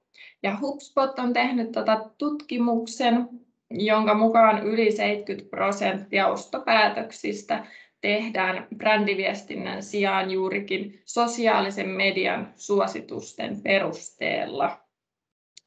Ja vaikuttajan markkinoinnin suosio kasvaa vauhdilla, niin pysy mukana markkinointitrendeissä. Ja miten siinä nyt sitten päästä alkuun vaikuttajan markkinoinnin tekemisessä? Niin helpoin tapahan on totta kai varmasti tehdään vaikuttajamarkkinoinnin toimiston kautta, mutta tota, jos tätä lähtee itse tekemään, niin on hyvä ottaa nämä asiat huomioon. Eli ensin määrittä tavoitteesi. Eli mieti, tota, mihin haluat kohdentaa sen vaikuttajamarkkinoinnin. Onko teillä tulossa esimerkiksi uusi tuote, jonka haluat nostaa niin kuin kuluttajien tietoisuuteen. Ja raja kohderyhmäsi, eli kohderyhmään juurikin, että ketä siihen kuuluu ja onko se alue sitten niin kuin tietty alue, onko se paikallinen vai ihan koko valtakunnallisesti. Ja sitten juurikin nämä kanavat ja vaikuttajat hyvä valita, eli tota, mieti ne kanavat, missä sä haluaisit sitä vaikuttajamarkkinointia tehdä. Ja kannattaa ottaa huomioon myös, että tietyistä kanavista tavoittaa helpommin esimerkiksi juurikin teinit, ja tota, jos, jos he on sun kohderyhmä. Ja mieti justiin, että mikä olisi teille se sopiva niin kuin vaikuttajamarkkinoinnin muoto. Eli onko se juurikin toi pidempiaikainen brändilähettilyys vai sitten toi vaikka kaupallinen yhteistyö. Ja tota, etsi sopivat vaikuttajat sieltä oikeasta kanavasta, joiden seuraajat on myös sitä sun yrityksen kohderyhmää. Ja tsekkaa tietysti vaikuttajan niin kuin kuvat ja tekstit, että vastaako ne sun yrityksen arvoja, että olette sillä lailla hyvä matchi. Ja tota, sitten tosiaan yhteistyöehdotukset sinne vaikuttajille ja tota, tehdään tarkat sopimukset, että montako postausta tämä yhteistyö sit sisältäisi ja koska ne haluttaisiin mahdollisesti ulos, että onko sulla joku tietty päivä jopa, milloin sä haluaisit, että se vaikuttaja julkaisisi nämä. Ja tota, mikä tässä on sitten vaikuttajalle se palkkio, summa, ja tosiaan sovi käyttöoikeuksista sitten, jos haluat käyttää näitä itse niitä vaikuttajan tuottamia kuvia. Ja tota, muista, että vaikuttajaa tulee myös ohjeistaa niistä kaupallisista yhteistyöstä merkitsemisestä Suomen lakien mukaan. Eli ne kaikki täytyy ilmoittaa sitten tuon Suomen lain määrittämin tavoin. Ja sitten tosiaan seuraa projektia, tee mahdollisesti myös maksettua mainontaa niille vaikuttajien julkaisulle ja pyydä vaikuttajilta lopussa ne postauksien avainluvut, eli näyttökerrat ja muut semmoiset tarkat, tarkat luvut, mitä ne mittarit sieltä sitten kertoo. Ja tota, lopuksi tosiaan toi raportti sitten kampanjan tuloksista ja mieti sen, sen perusteella sitten, että saavutitteko ne tulokset, mitä lähditte hakemaan sillä kampanjalla.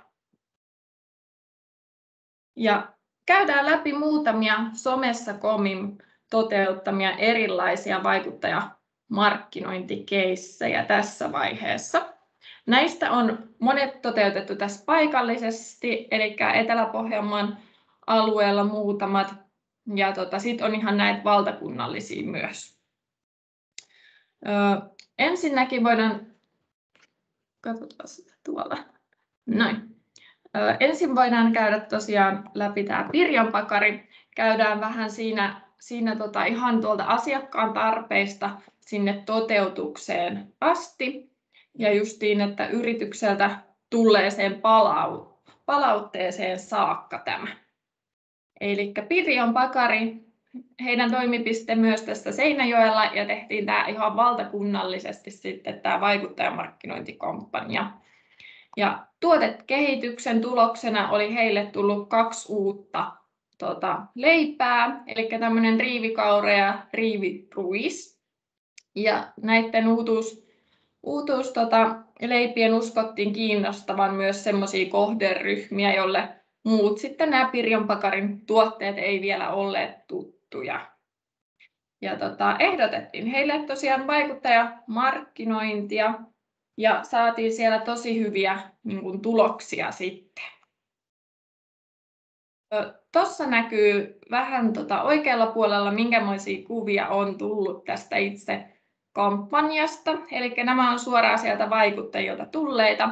Ja tavoitteena tässä kampanjassa oli saada näkyvyyttä juurikin näille uusille riivileiville ja Hannun sataprosenttisesti gluteeniton sämpylöille.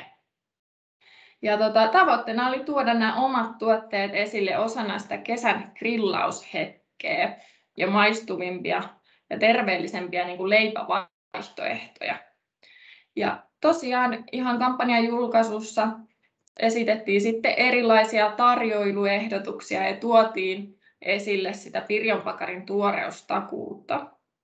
Ja tuossa on sitten ihan lukuina, eli meillä oli siellä kuusi mikrovaikuttajaa mukana, joka käytännössä tarkoittaa mikrovaikuttaja sitä, että hänellä on 1000-10 000 seuraajaa siellä tietyssä tota, somekanavassa. Ja kaksi makrovaikuttajaa, eli heillä on sitten ollut yli 10 000 seuraajaa siellä somekanavassa. Ja tuota, näyttökertoja ollaan saatu sieltä yli 130 000 kertaa. Ja tuota, julkaisuja 16, eli nämä on ollut sitten Pirjon Pakarilla siellä omissa somekanavissa sitten käytettävissä tämän kampanjan jälkeen. Ja sitoutuneisuusprosentti 10,2, joka käytännössä tarkoittaa sitä, että tuohon luetaan ne niin kuin kaikki tykkäykset ja kommentit ja sitten paljonko sitä on jaettu ja tallennettu niitä kuvia, niin se muodostuu tuosta se prosenttiosuus. Ja tosiaan luetaan, että jos sitoutuneisuus on yli 6 prosenttia, niin se on silloin jo hyvä. Ja tässä tosiaan 10,2, joten se on ollut näin ollen todella hyvä. Tuossa vielä vähän lisää kuvia sieltä kampanjasta, minkämoisia tuli. Eli näistäkin voi jo nähdä, että todella tämmöisiä laadukkaita ja esteettisesti kauniita kuvia. Tota, mitä kommentteja tuli tämän jälkeen sitten asiakkaalta? Niin vaikuttajan markkinoinnin ansiosta uutuustuotteiden myynti oli huikea menestys. Ja tota, myyntilukujen perusteella riivikaura ja riiviruis kiipesi sinne kärkipaikoille muihin tuotteisiin verrattuna. Ja tota, he olivat tykänneet kauheasti tuosta somevaikuttajien niin positiivisuudesta, eli heillä oli juurikin aidosti hauskaa ja tykkäs niistä tuotteista.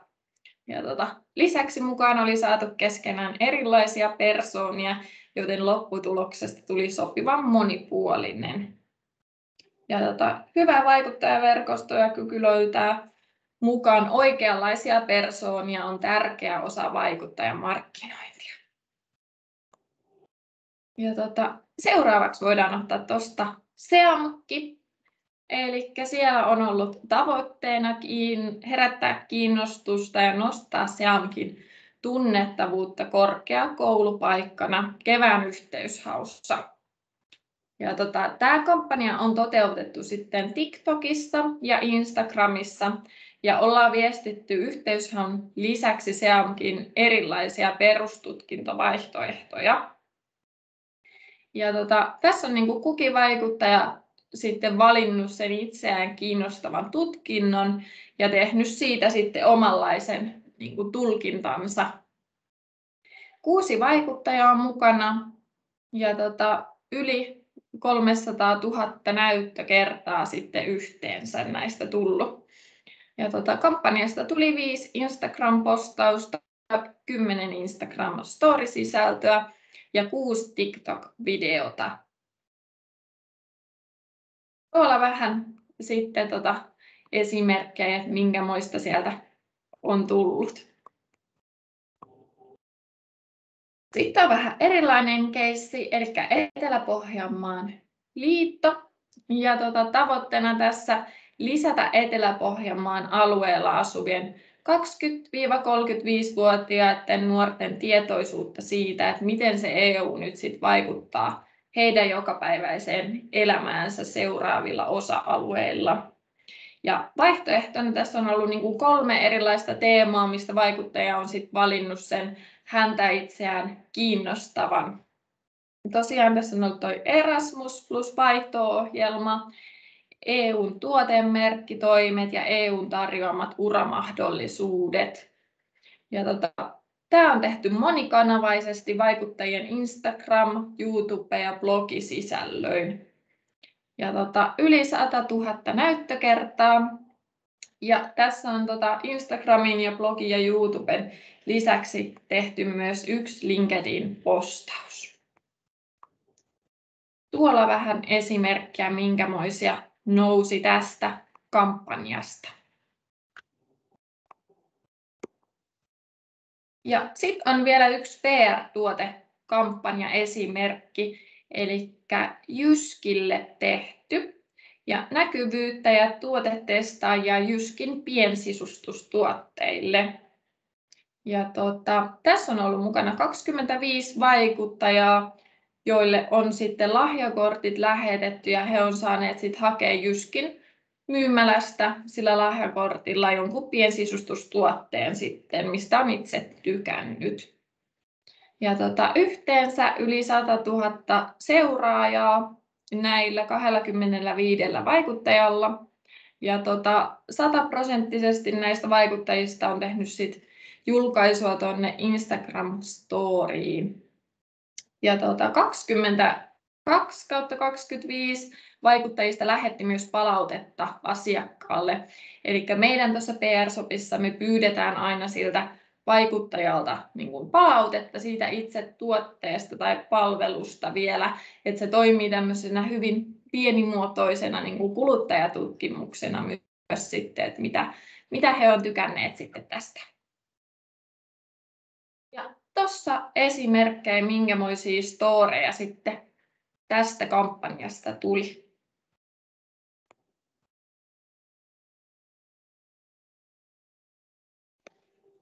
Noin. Kiitos. Heräskö siellä kysymyksiä?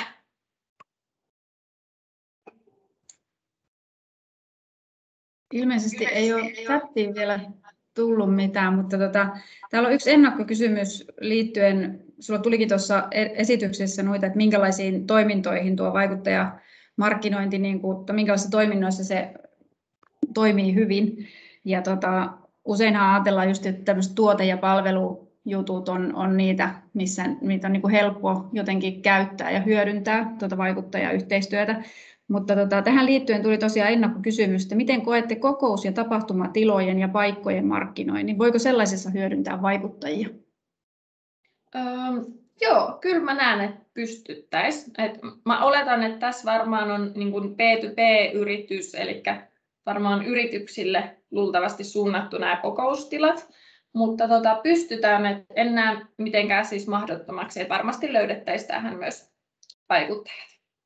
Et niin kuin vaikuttajien kautta, niin kuin esimerkiksi tuossa oli tuo Etelä-Pohjanmaan liiton esimerkki, niin pystytään niin kuin tuomaan tuollaista niin tietoisuutta yleensäkin. Et se, ei, se ei välttämättä tarvi olla juurikin tuommoinen niin konkreettinen tuote tai joku palvelu. Et siinä voidaan vain herättää vaikka jonkun kiinnostusta jotain luontopolkua kohtaan tai tuoda sitä, että tämmöinen niin kuin olemassa, että, että tosi, tosi niin kuin kiva Mm, aina ei tarvitse tavoitella jotakin myynnin kasvua tai, tai Joo. vastaavaa, että tota, se voi olla nimenomaan sitä tunnet, tunnettuutta ja tietoisuutta ylipäätään. Kyllä. Mielenkiintoisia kyllä justiin, että kuinka on, on tämmöiset julkiset organisaatiotkin hyödyntänyt, hyödyntänyt teidän tota, palveluita, niin näitä on aina kiva kuulla.